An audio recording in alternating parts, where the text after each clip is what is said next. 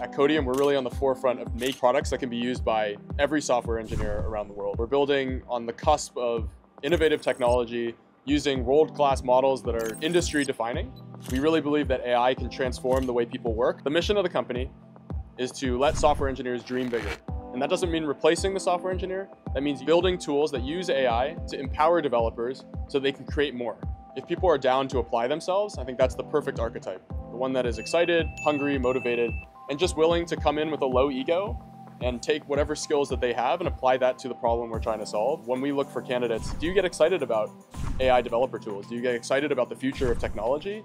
And are you ready to work with a team that is equally as excited and equally willing to, to work hard and apply their time to solving this sort of problem? We show up to work and we're building something new, we're iterating on ideas, we're brainstorming, we're having lunch together, we're playing basketball, and all these things really make for more than a company and kind of a community. I know we did a Hot Wing Spice Challenge the other day, we're doing a Halloween costume contest, just really exciting things happening both socially and professionally.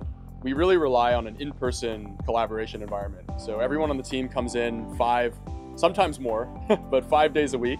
You really can't replicate that sort of energy when you're sitting around a whiteboard, when you're having stand-up in person, uh, and collaborating and pair programming in real time, this is where not only people learn and people can grow, but also where the best product and the best ideas come out. And so we strongly believe that being in person five days a week here in this beautiful office in Mountain View is the way to accomplish this. People are excited about what they're building and it really doesn't matter what the work is, so long as it's going towards this larger mission. But an example of how this was really demonstrated was we were building an autocomplete product and I had noticed that there was this you know, desire for users to use ChatGPT on the side to put their developer workflow. As someone who saw the inkling there, we weren't necessarily working on it as a company.